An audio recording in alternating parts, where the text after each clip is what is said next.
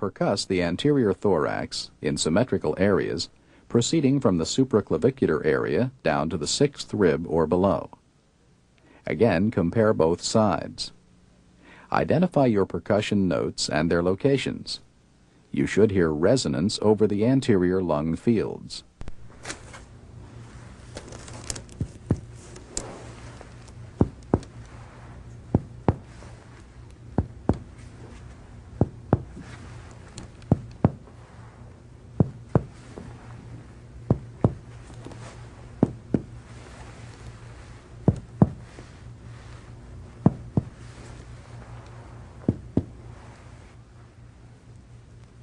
If you want to check the level of the right diaphragm anteriorly, percuss from resonant lung downward to liver dullness.